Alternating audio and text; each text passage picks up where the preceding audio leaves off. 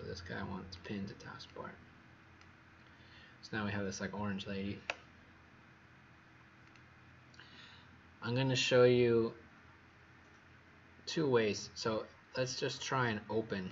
So auto um, intro digital and then here AutoCAD intro see how it actually sees the picture of it so let's see if it will bring it in so if I do open you get this I just tried to open my CAD file in Illustrator and it doesn't work. It says the file AutoCAD intro is an unknown format and cannot be opened. So some people see this and they go okay you can't do that. So then they go back to Illustrator I mean AutoCAD they print a PDF and then bring the PDF which you can do. A better way to do it is just go to your AutoCAD and when you're here do a save as. And instead of saving it as AutoCAD 2018 save it back to 2007 or 2004 you could try 2010 but I know 2007 at least. So the only thing I'm changing is that. And hit save. It says exist. You want to press it? Let's say yes. Now let's just try and do the exact same thing. Open that same file. Open. And say now we don't get the error, it can read it. So it's not that Illustrator can't read a CAD file, it's that Illustrator cannot read a 2018 version AutoCAD file because it has a lot more new stuff in it that they haven't worked out yet. I'm sure eventually you'll be able to import it with no problem. Um, but this way you can do, so if we do original size, it will make it whatever size it was. Um, we can tell it to bring scale to fit artboard, scale to fit a certain a scale by a certain percentage. So if I wanted it here to make it scaled, I could do that. I can bring in my model space or I could tell it to bring in my layout instead.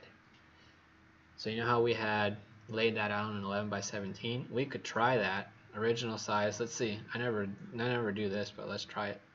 Um, this one, please never check this option. because the whole point of this workflow is that it allows you to keep your layers. So I see some people are like, you can't do this workflow, it doesn't work. I bring it in, I just have one layer. And then you check this one and you see that they have checked merge layers. So whenever you can, if it if it's gonna help you, you want to keep your layers. We went through all that work already in AutoCAD to separate it out why would we want to lose the layers just open it in Illustrator and then remake the layers in Illustrator it doesn't really help to work that way but if you do this it helps you preserve them so let's hit OK. And then it's done something crazy. So let's see how big is my artboard. I'm gonna just show my rulers real quick. Put this in inches. So yeah it didn't really do what I wanted it to do. So let's just close that. And then I'm going to do the same thing, file open. And then let's open it to scale to fit artboard. And we can just grab the model space. Make sure you don't scale, don't select merge. Um, and then it brings it in like that. Here I have the artboard tool selected. Normally you're like this. Notice up here at the top um, if you click the artboard tool it changes and we can click that it'll go to horizontal so this looks good. That looks like what I want to see. So it started off and if you notice it actually kept the colors from uh, AutoCAD. So if we look here for my layers I have all my AutoCAD layers.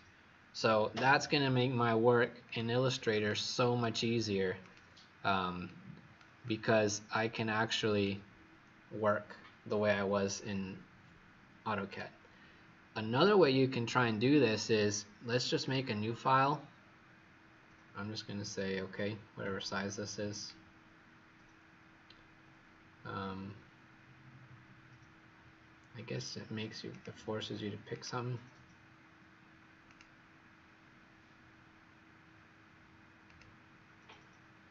tabloid. Tabloid is 11 by 17. If you change points here, you'll see. So we could do this. Let's just try now. Let's make this landscape. I see this a lot. People place. So let's place that illustrate that CAD file and let's put it here. So if I click one time, and look, it looks great, right? Does that keep your layers? No. So if I open this up, I have a group, and when you open up the group, we have every single option. So, okay, thanks. Uh, I'm gonna put this over. We do have something better than a black and white drawing. Notice how we have colors. Um, I'm in the group now. If you double click it, just like a lot of modeling software, when you double click, like SketchUp when we were using that earlier, you click onto it, we can see here it's yellow, right? And it's got this weird line weight. If you look here, sometimes you'll get a file and it doesn't have layers, but they actually have line weight. I noticed this with like the cities drawings. Sometimes they give you like planning drawings and stuff and their PDFs. And if you can open the PDF in Illustrator and it's still vector, that's super helpful because you can go in there and select like let's say they have all their buildings one color. The trick is you need either the line weight or the line color to be the same across the ones you want to select. Because once I do this, I can pick one of them, let's say that yellow one. You go select, same. You can do fill and stroke, stroke color in this sense. You can do stroke weight. So let's do color. So now it's grabbed all the objects that had that color. And what I can do under my layers, I can make a new layer uh, might not let me in isolation mode. What is this? So here, let's get out of this mode. I don't want these all to be grouped. So I'm going to right click and tell it ungroup. So that should let me do this now. So I'm to pick the yellow, select same stroke color. And now I can make a new layer. And notice to the right, I have this little guy. It's like a blue square. That's telling you you have objects selected and since it's on layer 1 that means they're on this layer. If you grab that and drag it up now I've moved those objects to the other layer. So if I turn off layer 1 I can see all these objects.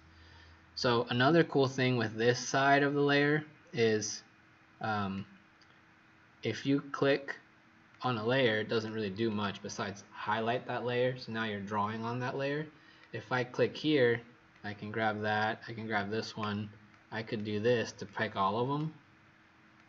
You can also just click that little bubble. So if I click that bubble, it will select all objects on that layer. So you can see how if you didn't have the layers preserved, you could spend some time now recreating them as long as you have something that's unique about the line weight if you get it in there, it's like all of them are exactly the same color, exactly the same line weight, exactly the same fill, then you'll have a hard time because you got to manually pick the ones and move them to layers.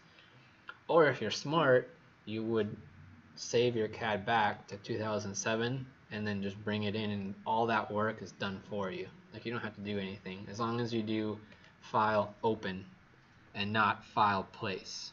That's the trick.